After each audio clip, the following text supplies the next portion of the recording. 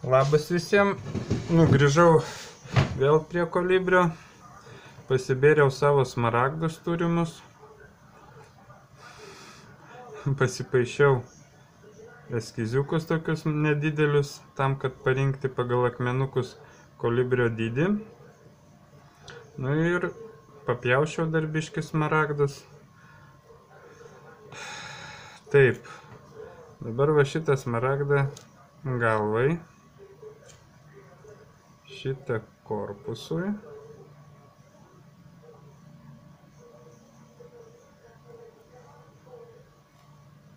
Šitą uodegai.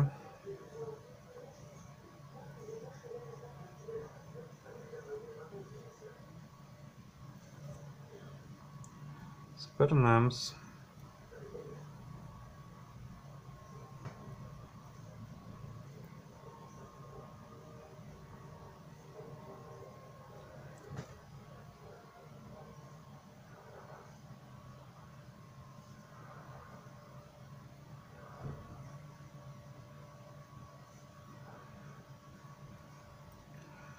Na ir čia uodegos paritimai.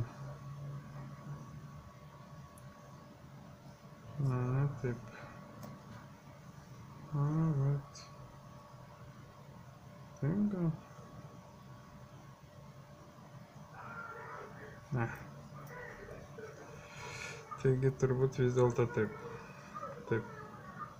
Tikrai taip.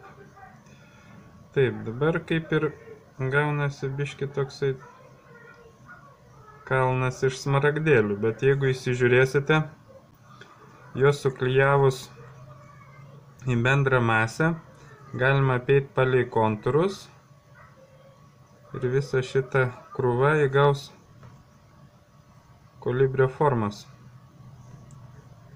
Po to bus galima, kai jau kiekvienas akmenukas turės savo kontūrus aiškius,